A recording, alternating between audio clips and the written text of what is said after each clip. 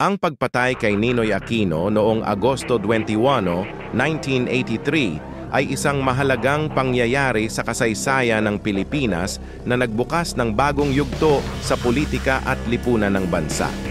Si Benigno Ninoy Aquino Jr. ay isang prominenteng oposisyon sa ilalim ng rehimeng Ferdinand Marcos nakilala sa kanyang mahigpit na pamamahala at deklarasyon ng martial law noong 1972.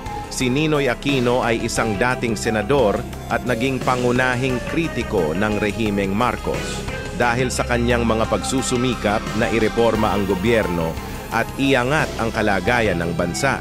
Siya ay ipinakulong at ipinatapon sa Estados Unidos noong 1972.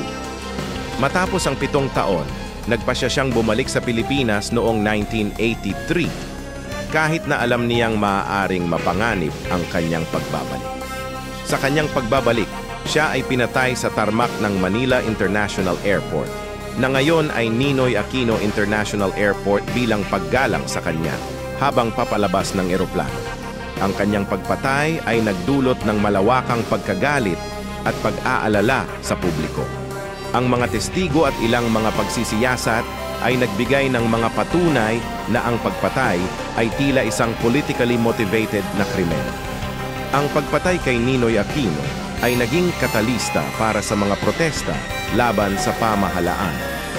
Nagdulot ito ng malawak na paggalaw na naglunsad ng People Power Revolution noong Pebrero 1986 na nagtanggal kay Ferdinand Marcos sa kapangyarihan at nagbalik ng demokrasya sa bansa sa pamamagitan ng paghalal kay Corazon Aquino, asawa ni Ninoy, bilang Pangulo ng Pilipinas.